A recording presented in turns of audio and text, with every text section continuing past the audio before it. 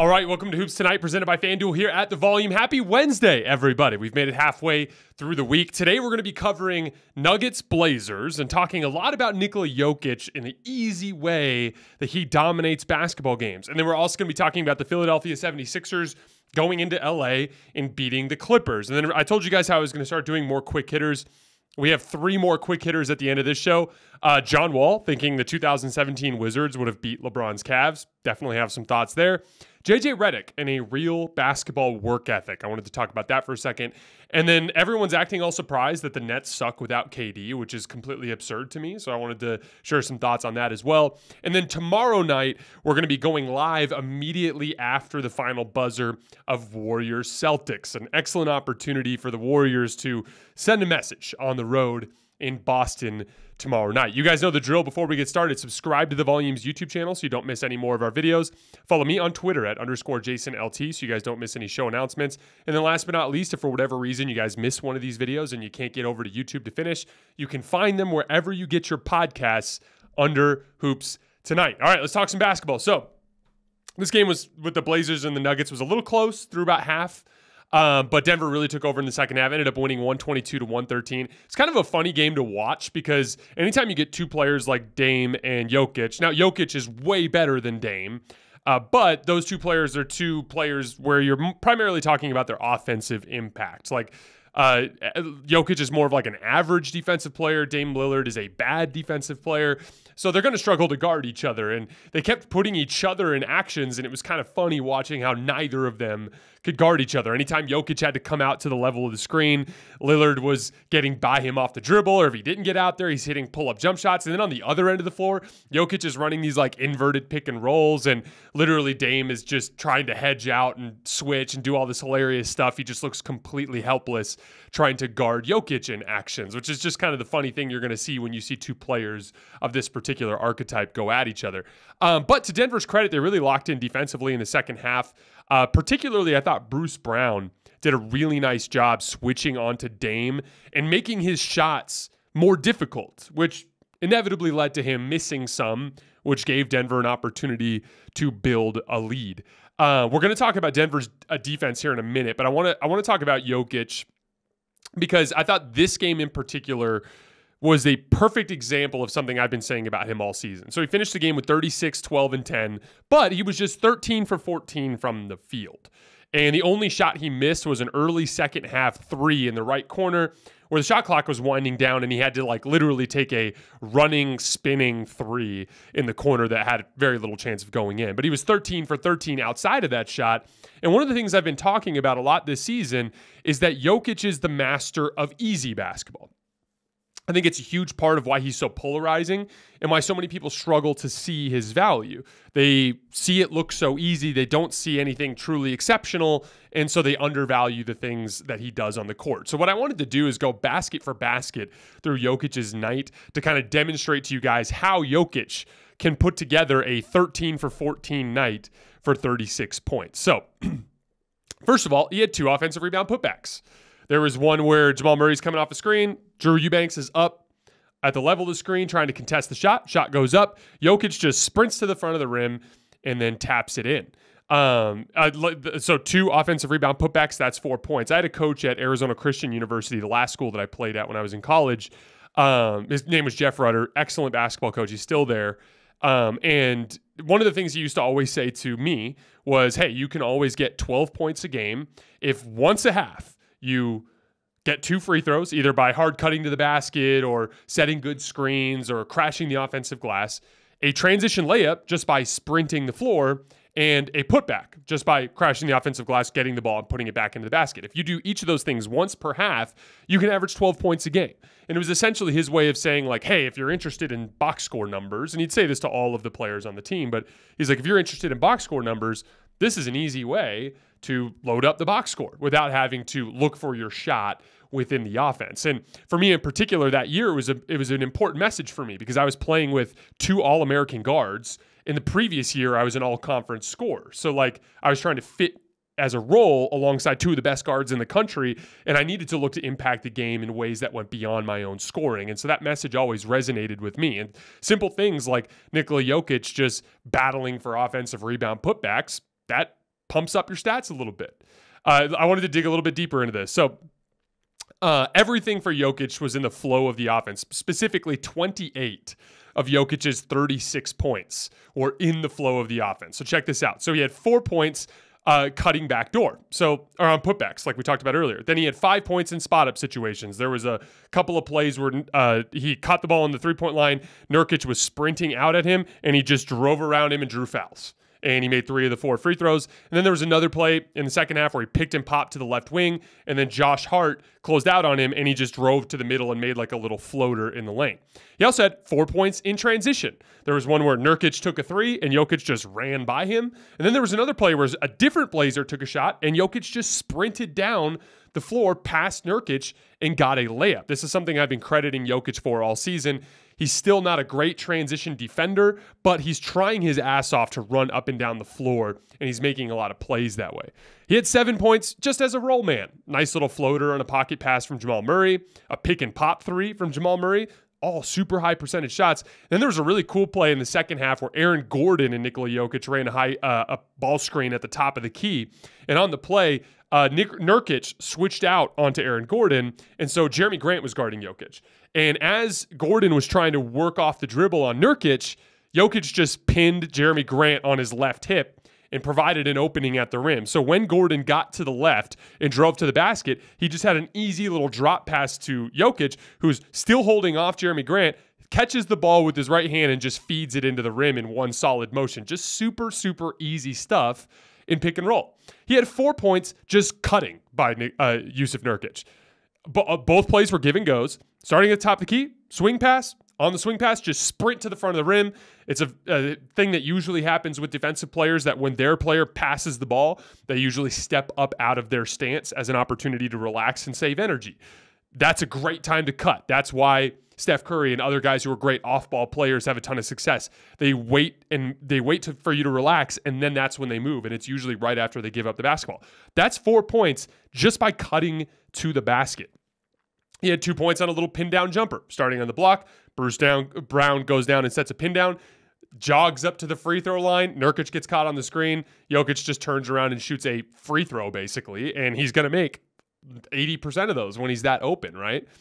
Um, and then there was two points where Dame fouled him after a, a, after he grabbed a defensive rebound. So literally just um, a contested a shot from Dame, got a miss, held onto the rebound, and Dame hacked him. That's 28 points without a single high difficulty shot attempt. 28 points. And that's stuff that any NBA player that plays that position can do. Any big can sprint up and down the floor. Any big can, you know, uh, learn how to make little pop shots and floaters in the lane. That's what makes Jokic so unique. Is he's got the skill, don't get me wrong, but he doesn't make it more complicated than it needs to be. He thrives by hunting down the easy opportunities on a basketball court. Even his post ups and ISOs were easy. He had uh, so he added eight additional points in post ups and ISOs. There was a tough shot, one in particular where he ISOed Nurkic in the first half and he took like a spinning hook shot in the lane yeah, it's a tough shot. That's a superstar play. That's what you hope for from Jokic. But the other two baskets, they were a, a, post up on Lillard where Lillard got switched onto him and he just sealed him under the basket. Entry pass, catch, finish. Easy basketball. And then uh, in the second half on the right wing, he had a little face up jumper on Nurkic where Nurkic was basically conceding him the shot because he was open. And so, that in a nutshell, I wanted to go through all those baskets because that in a nutshell is why I think Nikola Jokic is so polarizing people don't see anything exceptional. You know, there's the highlight passes from here, there, uh, here and then. There's the tough one-legged fadeaway every once in a while, but everything really kind of looks easy, and I think that that just goes over a lot of people's heads. Um, but you don't get bonus points in basketball for flair. Two points, two pointers are worth two points. Threes are worth three, and free throws are worth one. It's that simple. It doesn't seem like Jokic is dominating a lot of games to people, but you know, you look up and it's 30, 10, and 10 for Jokic, and the Nuggets win. And and that is that fundamentally is all that matters. And it doesn't matter that he's not hitting all the crazy tough jump shots that you know Joel Embiid is hitting. It doesn't matter that he's demonstrating the high level shot making that you're seeing from guys like Kevin Durant and LeBron James or Jayson Tatum. It doesn't matter because he's so damn big and strong that he can get these easy shots and he just knows how to hunt those easy shots. Nikola Jokic this year is averaging 25, 11, and 10, and the Nuggets are plus 367 in his minutes, which is the best individual plus minus in the entire league. So, like, honestly, Jokic fans should just be running around town or, you know, running around the internet just screaming scoreboard at the top of their lungs because that's all that matters. Who cares what you think he looks like? Who cares that he doesn't make the same number of highlight plays as some of his peers around the league? He puts up the numbers, the team wins all of his shifts, and he is winning on the scoreboard better than any NBA player in the league this year. One last note on the uh, um, uh, on this particular game that I, that stuck out to me. I wanted to shout out Mike Malone for just the overall level of offensive organization he's implemented everyone is always in the right place. When we look at the Nuggets, we focus a lot on the on ball actions, right? We look at Murray Jokic pick and rolls, we look at Jokic Murray pick and rolls, we look at Bruce Brown, you know, Jokic pick and rolls, we look at all these different things. But the reality is, is there's a five man unit out there that's moving on all these possessions, and we don't give enough credit to guys like KCP and Michael Porter Jr. for always relocating to the perfect spot to give Jokic an opportunity for a kick out. And then a lot, a lot of that credit goes to Mike Malone as well.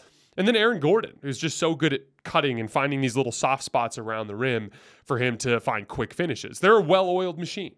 And that's why they're the second best offense in the league. Now, I said before the season I expected them to be the best offensive in, uh, offense in the league, but they're one tenth of a point per 100 possession behind Boston. So they've got a little bit of work to do to make me right. And then lastly, big picture with the Nuggets. Uh, last night was rough defensively in the first half, but they were really good defensively in the second half. The Nuggets are third in defensive rating over their last 15 games, and they have now moved up to 17th for the season. Now, if you guys remember before the season, I said that Denver is so damn good offensively that I don't necessarily think they need to be a top 10 defense. But I do think they need to be within 10 to 15 and closer to 10 if possible. And so, you know, and I, again, I, I know it's like, oh, who cares? We've been playing defensive late. But the reason why I care about the full season is there are lots of examples in the NBA of teams for 10, 15 games playing hard and then letting go of the rope on that end of the floor you know, the Lakers defended incredibly well to start the season and then immediately stopped, even with Anthony Davis. So it's one of those things where, like, I look at the big picture of the season defensive rating because that tells me over an 82 game sample size, if you're top 10 in defense or for the Nuggets, if you're between 10 and 15, that tells me that you put in a, a, good deal of effort and focus to establishing defensive habits. And over the course of that 82 game season, you did better than half the teams in the league. That is going to be an indicator to me that when the shit hits the fan in the playoffs, you've got enough of a, a backbone of, of habits and, and, and work ethic that you're going to lock in defensively. And that will carry you through spurts when your offense doesn't work. So obviously trending in the right direction, but I'd like to see a little bit more, another 10, 15 games of them playing at this level, then their defensive rating will click up to 13th, 12th in the league. Then we can start to really look at the Nuggets as a bona fide top tier championship contender. All right, moving on to the Sixers and the Clippers. This was a one point game at the end of the third quarter, and then Tyrese Maxey just completely took over the fourth quarter. He started with a ridiculous step back three over Nicolas Batum, and then he hit two threes against Moses Brown in drop coverage when he was too far behind the screen those three pull up threes basically built the initial margin that determined the outcome of this game because suddenly you look up and you're down by eight, uh, down by nine or ten, and now James Harden and Joel Embiid come in the game and it's basically over at that point. You know, we always look at Tyrese Maxey as the transition threat. He's one of the best speed guards in the league, but he's actually turned himself into a really great shooter, particularly off the dribble. This year, he's shooting 39% on 6.3 pull up jumpers per game. Now, that seems a little low, but he was over 40% last year. I expect him to finish over 40% this year. He just shot terribly in the first several games when he came back from his foot injury, which is to be expected because, like I always say, pull up jump shooting and all the skill areas of basketball have to be tuned in. They, they, you have to uh, build your rhythm establish that that touch and dial everything in. And so that's why I'm not overly concerned about that. But even with that, 39% on 6.3 pull-up jumpers per game is great. I mean, to give you an example, like guys like LeBron James and Jayson Tatum are in the low 30s. So he's doing really well there. Uh, Tyrese Maxey is my favorite example to push as far as me uh, uh, in my take that I've had all season that I think Philly has the most talented top four in the NBA.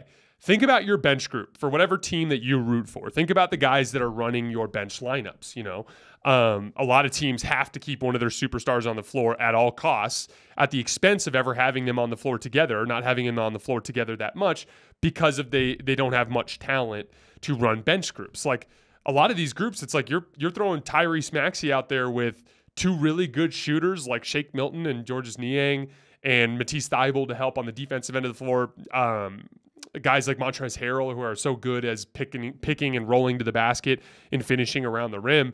They can run a bench group like that without James Harden or Joel Embiid and buy time for those guys to rest and have a good chance to win those minutes because of how good Tyrese Maxey is offensively.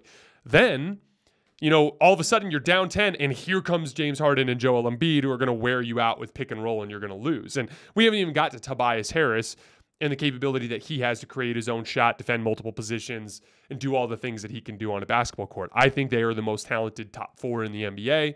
And that's a huge advantage for the Sixers. They're not as deep with talent as teams like Boston, but they're uh, they're top heavy, um, and that you know is going to give them a lot of advantages in, a, in the in the in the playoffs this year.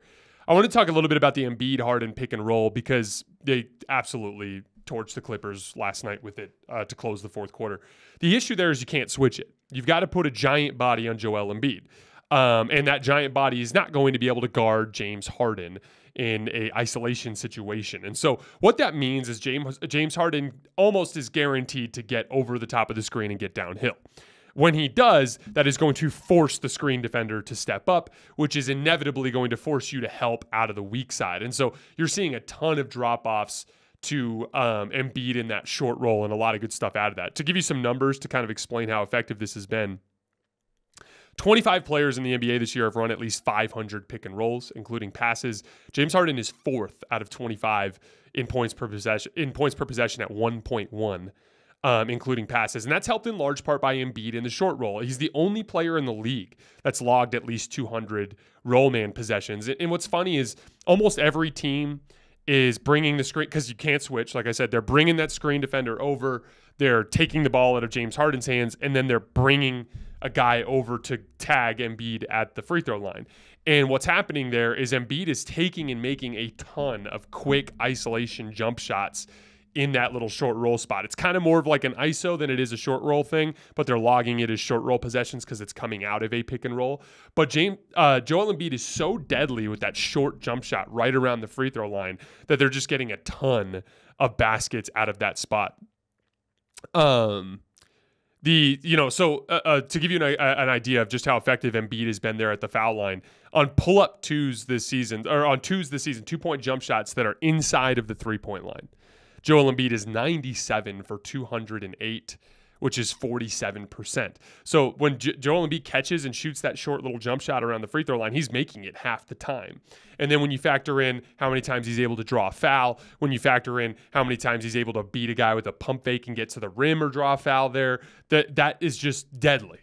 And uh, James and, and and the counter there is if you stay with Embiid and fight him off of that position, James Harden's able to get downhill because his defender has to chase him over the top of the screen. So even if you manage to survive that Tyrese Maxey onslaught to start fourth quarters, you have that Harden Embiid pick and roll waiting for you to close out the fourth, and that makes them like super scary. And that's why I had Philly. If you guys remember before the season, I had my top tier contenders, which was Golden State, Boston, Milwaukee, and the Clippers. And I've since dropped the Clippers off of that list and I put the Bucks into that spot. But before the season, I had the Sixers as the best of the rest. I had them at fifth in the league. And the main reason why was I thought that, you know, Embiid de- dealt with some health issues last year. James Harden wasn't in shape for most of last year and was dealing with hamstring stuff. James Harden's in better shape this year. Joel Embiid hopefully will be more healthy this year. I expect the Sixers to be a really tough out in the playoffs, and it comes from the talent of those top four guys. Uh, one last note on the Sixers before we move on to the Clippers for a minute. Georges Niang. I talked a lot yesterday when we were talking about the Clippers about the value of high end, competent wing shooting. And every single time you'd see last night, like, oh, the Clippers were jogging back in transition and they weren't really matched up super well and Georges Niang catches on the left wing and just nails a transition three. And you're like, oh crap, like we literally can't leave him open. And he made another huge three in the fourth quarter shortly after that. And I'm sitting there and I'm thinking, like, that's why. That's why I've been preaching so much about that position for the Lakers and for a lot of teams around the league. We've talked about it for the Bucks. We've talked about it for the Warriors off the bench. We've talked about it about a bunch of teams this year. You need to have guys on the wing with real size so that they can navigate physical playoff environments that are dead eye shooters because that being a, a shot that goes in 50% of the time instead of 35% of the time is going to lead to a significant difference in your final result over the course of a game or over the course of a playoff series. Um, but again, that's not even one of your top four guys there. And that's a player that's so immensely valuable to that Sixers team. Moving on to the Clippers. I remain not worried. Um, they're the sixth best defense in the NBA. So that's a classic hallmark of a championship contender. They have matchup versatility because of the wing size that they have and their ability to play both small and big. Now, they do have some issues. They desperately need a backup center. That's going to be a problem. Moses Brown isn't quite up to that task. Um, but the most used lineup that the Clippers have played all season is their starting lineup Kawhi Leonard, Paul George, uh, Marcus Morris, Reggie Jackson, and Ivica Zubac. And they've only played 163 minutes. So, for perspective, that uh, Portland, Sacramento, Houston, and Chicago, all of their starting lineups have played over 400 minutes together this year. That's a huge part of why their offense is 27th in the league. Offense is about four key factors advantage creation, play finishing, play rescuing, and rhythm and flow. Paul George and Kawhi Leonard have only played in 53 of the 92 available games for them this year. That directly disrupts your advantage creation because those are your two primary advantage creators. When they miss half the games, you get half as much advantage creation. That's your two best play rescuers, tough shot makers. If you lose them for half the games, you lost half of your play rescuing. I talk all the time about how just making crazy shots to save possessions is the difference between a 108 offensive rating and a 117 offensive rating, or a good offense and a bad offense. You need guys that can rescue possessions. And then for rhythm and flow, if my team's going to miss my stars for 53 of the 92 games, we're always playing different lineups. Our best lineups only played 163 minutes. We have never had an opportunity to build rhythm and flow. Now, the one thing there that's consistent is play finishing, right? Like this team has a ton of ball handling and shooting in general on the roster, but that just doesn't matter if you don't have the guys that can create the advantage initially or the guys that can rescue the possessions when they break down or have enough of your guys available enough to where you build that rhythm and flow. I talk about rhythm and flow a lot on the show. I, I have a random little aside you guys have probably seen in my background, I've got guitars and a Dead and Company poster, and there's John Mayer and Bobby Weir playing some guitar. I grew up on you know all that old blues and rock, Allman Brothers Band, Stevie Ray Vaughan, you know Dead and Company stuff like that. And uh, I've become a, become a huge fan of Dead and Company because of John Mayer and his ability to play guitar in a way that you probably don't realize because he's always playing with these like pop type genre music that he's been doing in his mainstream stuff and uh, they just played a showdown in Mexico this past weekend. And uh, um, a lot of Dead and Company fans were complaining that they sounded disjointed. And I've been following Dead and Company for the last half decade or so. And every time they start playing, the start of their tour, they're super sloppy. And then by the end of their tour, they're dialed in and they're just so damn good. Like if you go to last year's tour and you look at their last show at Citi Field, they sound amazing, but if you go to their first show, it's a little sloppy. And then, of course, they go down to Mexico and they haven't played together in months and they sound sloppy. And it's because there's literally, I think, six members to the band. There's a bass player, there's two guitarists, there's two drummers, and there's a piano player. So when you've got six different moving parts, it takes a while for them to get in sync. And that kind of that same concept exists in so many different phases of our life, but basketball is one that, you know, obviously directly relates to me a lot. I, I see that all the time with the game of basketball. There's individual rhythm. If you're a player that's been out with an injury and you need to, and you're a jump shooter, if you're skill oriented, it's going to take you five, 10 games to get your rhythm back. Steph came back from injury. He sucked. Now he's playing better. Desmond Bane came back from injury. He sucked. Now he's playing better. You get the point. That's the natural way that build you build rhythm on an individual level. But that extends to the team level. If I've if I've got a drive and kick offense with five players on the floor, there is a rhythm and a timing and a flow to that that you can't build if you don't have your players available. And so that's why the Clippers, despite having, you know, a, probably a top six or seven roster in terms of offensive skill, are 27th in offense. They've lost their advantage creators for a great deal of the season. They've lost their um, you know, shot possession rescuing for a large portion of the season, and none of their lineups have been able to get enough reps to build a real rhythm and flow. Um, I have dropped the Clippers from my top tier of contenders because of that, but I still view them in that second tier, and I absolutely think they're capable of winning a championship because all they need to do is get their guys back, get healthy, and have a 20, 25 game stretch where they all play a lot and they build that requisite rhythm, and flow. If they do, then they are a damn sure, absolutely capable championship contender. They have the defense and matchup versatility to thrive in that environment. They have two outstanding advantage creators. They have tons of shooting and closeout attacking. They have two guys that create their own shot at an extremely high level to rescue possessions and in late game situations. That's all the boxes. I don't know what else to tell you. That's all the boxes all of their issues, I think, come down to injuries. Yeah, I hope they target a backup center in the trade market, but like a lot, there's a lot of smoke and mirrors out there. There's a lot of people complaining about Ty Lue. There's a lot of people acting like they're frauds. They're not frauds. They've just been hurt. And yeah, they're not going to win anything if they don't get over that, but it's a pretty easy path from there because they have the requisite talent on the roster.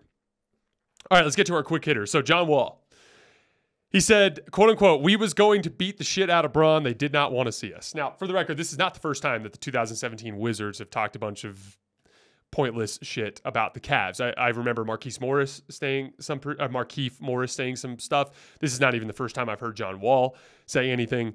Um, and it's all based on the fact that in a couple of regular season games, excuse me, spanning from 2016 to 2017 and 18, during that span, the Wizards won some games against the Cavs in the regular season. Um, and that apparently has driven that delusion of grandeur within those guys on the Wizards to think that they could have won that. And I think it's hilarious because a couple things. First of all, the 2017 Cavs bullshitted through that entire season. They did not play any defense. They did not fear anyone in the Eastern Conference, so they didn't care about seeding. The whole thing was just one big practice for the Kevin Durant Warriors. Despite that, they still finished two games above the Wizards in the regular season standings and went two and one against them that season in the regular season. And so I just don't understand what he was looking at there that would have incentivized him to believe that the Wizards could have won that series. Uh, and to give you an example, regular season matchups almost never translate to the playoffs, especially when you're looking at teams that have championship pedigree. For instance, the 2015 Hawks, three and one against the Cavs in the regular season. LeBron swept them with no Kevin Love and with Kyrie Irving missing two games and playing hurt in the other two. You don't think the Hawks went into that series thinking, oh, we got them. We were up 3 1. No, no, no. Like when you get into the playoffs, it's just an entirely different beast. So John Wall is completely living in fantasy land. Last note here never ever allow yourself to be swayed by regular season results for a defending champ. Ever. Do you remember the top 10 defense rule? I've talked about this a lot on my show. You only win a championship if you're a top 10 defense. But in this century, there are two examples where uh, a, a, team outside of the top 10 in defense won the title. It was the Shaq Kobe Lakers and the KD Steph Warriors. But specifically, both of those teams were already defending champs. When you, uh, like, the defending champ goes into that season with less motivation than any team in the league because they literally have the trophy. That's why I still have the Warriors at 22 and 22 as a top tier contender for me. There's a lot of precedent there for this sort of thing. Um, now, I do the the Warriors in particular. I don't think they're talented enough to not have a top ten defense. So with them, I'm really watching that defensive rating over the course of the season. But I have not written them off, despite them struggling this year. The 2017 Cavs went 51 and 31. They were below 500 on the road, and then they absolutely obliterated everyone in the playoffs. Then they lost to the most talented roster ever assembled, the, two, the KD Steph Warriors, but they were the only NBA, te- uh, NBA team uh, in the league that year to notch a playoff win against the 2017 Warriors. That Cavs team would have swept the Wizards. I have absolutely no doubt about that. Um, all right, JJ Redick and his work ethic. So there was a clip that was going around on Twitter. I tweeted it out today. So if you want to see the clip, you can find it there. But JJ Redick's on a podcast with Quentin Richardson, and he said one of the biggest reasons that he retired was how difficult his offseason regimen was and that he didn't think his body could handle it anymore. And then he kind of broke down what his offseason regimen was. And basically, he did two a days, Monday through Friday. He'd take Saturday off, and then he would make 342 shots every single Sunday. And the reason why that resonate, resonated with me is I think that there's a disconnect uh, with a lot of young players about uh, working on your game in a real professional basketball work ethic. And it's a lesson that I wish I would have learned when I was younger because when I was younger, I had all the talent. I was, you know, super, I'm 6'6 without shoes on, 220 pounds of muscle and 6'11 wingspan, 6'10 wingspan, whatever it was. And when I, on, if you caught me on the right night, like I could shoot it and I could put the ball on the floor and make plays. So so I scored. I had a lot of really high scoring games. Like I had a, my career high in college was 31. I had 20 plus like a half dozen times, average double figures for my college career. Had all those different things, but I was very inconsistent. So like conference play in JUCO, my second year, I'd shoot 50% from three. And then I transferred to Arizona Christian and I shot 18% from three. So uh, so going from 50% from three to 18% from three in literally a year, when theoretically I would have gotten better. And it was because I was actually a super streaky shooter. What I was was a, pay, a player that had some skill, but I did not have reliable skill. And that doesn't seem like a big gap. But one of the biggest lessons I learned as I got older was that's a huge gap. In my late 20s, um, was when I finally kind of really realized and learned how hard you have to work at those things to be good at them. And it's it was way too late. I'm 31 years old now, so it doesn't even matter how good I can play basketball. There's no real outlet for that now. And one of the things that I wish I would have learned when I was younger is that specific type of work ethic. You in order to be a reliable jump shooter and a reliable ball handler, you have to put in thousands and thousands and thousands and thousands of reps over years and years and years. And you are only going to see incremental improvement on a daily basis. You're barely going to notice it in the short term. You're only going to notice it in the long term.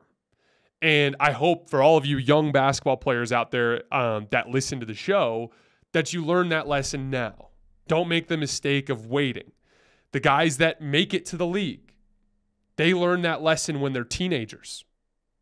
And that and they ride that to, you know, getting that vote of confidence from an NBA team in their early 20s, and then they ride it throughout their career to become super skilled and reliable NBA role players. That's how they do that.